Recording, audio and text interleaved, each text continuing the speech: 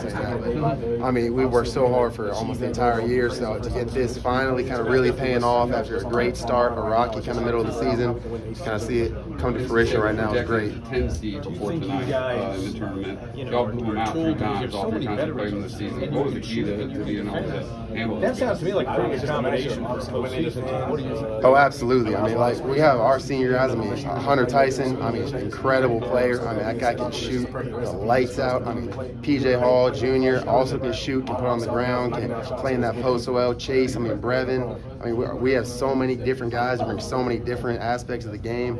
Uh, I feel that we can be really dangerous. Thanks, buddy. Yes, sir. Yes, sir.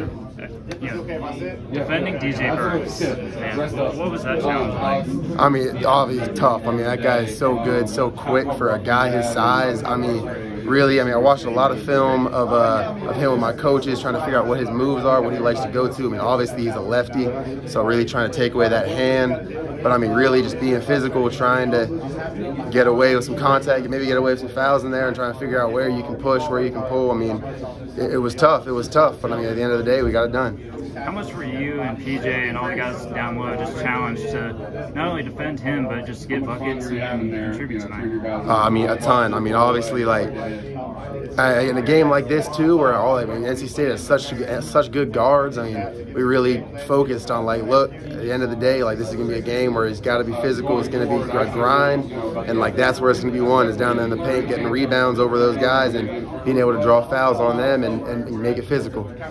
What, can you take from playing Virginia so recently, know, going into that game? Uh, you know, I mean, Virginia's a great team. I mean, we're gonna, I mean, we're gonna prepare for it. I mean, I. That's tough to say. I mean, they're a great team. I think we'll be ready.